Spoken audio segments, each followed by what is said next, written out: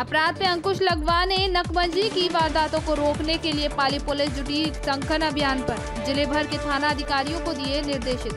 पाली जिला पुलिस अधीक्षक कालूराम रावत के निर्देशानुसार ज़िले में अपराध, चोरियों एवं नकबजनी की वारदातों पर अंकुश लगा, लगवाने के लिए पुलिस द्वारा एक संगन अभियान चलाया जा रहा है। जिला पुलिस अधीक्षक के निर्देश से संबंधित सभी थाना अधिकारियों को निर्देशित किया गया है। पुलिस द्वारा नाकाबंदी द्वारा सतर्कता बरती जा रही है और नज़र रखी जा रही है। हर संदिग्ध वाहनों की तलाशी की जा रही है।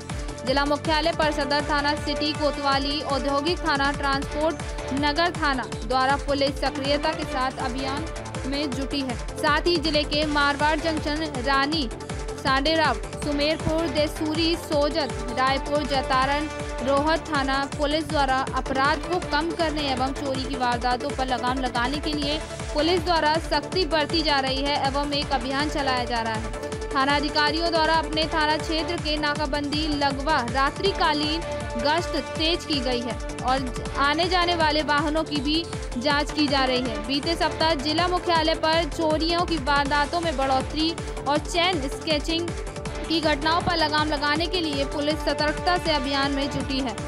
ज़िले में चोर गैंग का पर्दाफाश के लिए पुलिस तकनीकी सहायता में जुटी है। पाली से सुरेश पवार।